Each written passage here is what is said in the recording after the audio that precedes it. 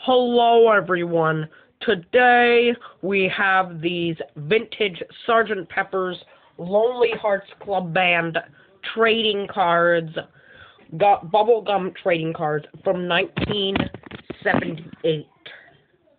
This still has the gum in it. It's unopened.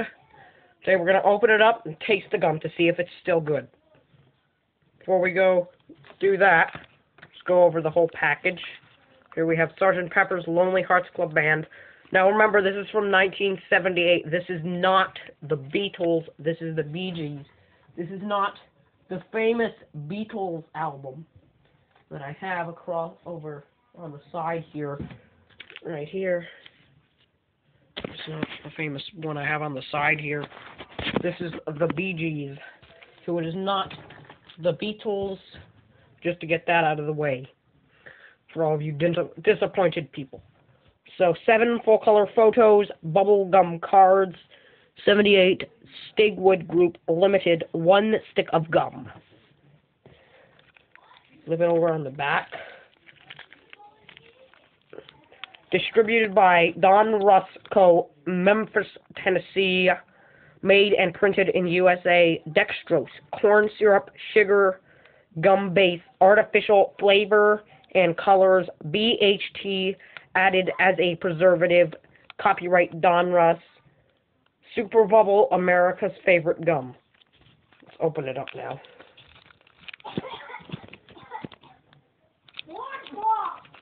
Okay. Oh, oh, the gum. Oh, sorry, my camera just fell.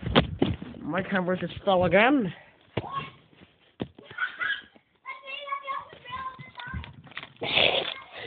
So, I gotta make sure not to damage the package too much, but the gum is stuck. Okay. Okay.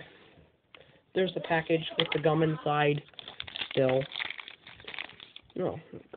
Okay, let's look at the cards. This card is sticky with gum residue. Battle between Lonely Hearts Club Band and Future Villains card. Lonely Hearts Club Band in BD's oversized limousine.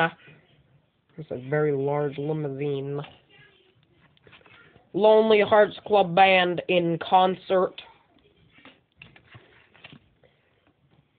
Funeral Procession for Strawberry Fields. Lonely Hearts Club Band at the benefit.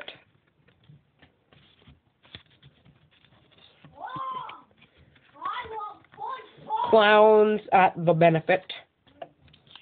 Oh, there's another piece of gum that's stuck to it. Sergeant Pepper Weather Vane comes to life. These are supposed to make a puzzle on the back. I don't have this. I just bought one pack. But let's look at the gum. Here is the gum. I'm going to taste it now.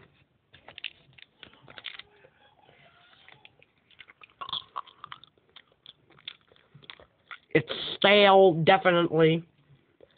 Still tastes like gum, though. Tastes terrible. Eh. Bad. Do not eat this. It is bad. Thanks for watching.